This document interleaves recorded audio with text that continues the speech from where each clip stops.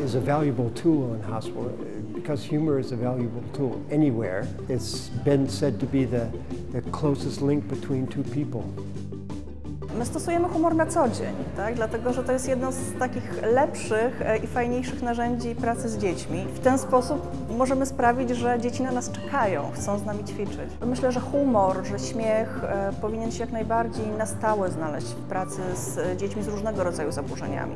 Oczywiście w służbie zdrowia, ale w szkolnictwie także. Dzieci po prostu lepiej pracują, lepiej wchodzą w kontakt, chcą pracować. Healthcare professionals spend their entire training focusing on illness and methods of, of treatment. Just in the last 10, 15 years, in, in the study of medicine, has the element of, of the human being been, been stressed. And there's great progress in that respect. And, and I think now in healthcare, pretty much everyone understands how important it is to have a, a good doctor or a good nurse-patient relationship. We have to talk about that first impression, that, that moment when you first meet the patient, because that sets up the relationship.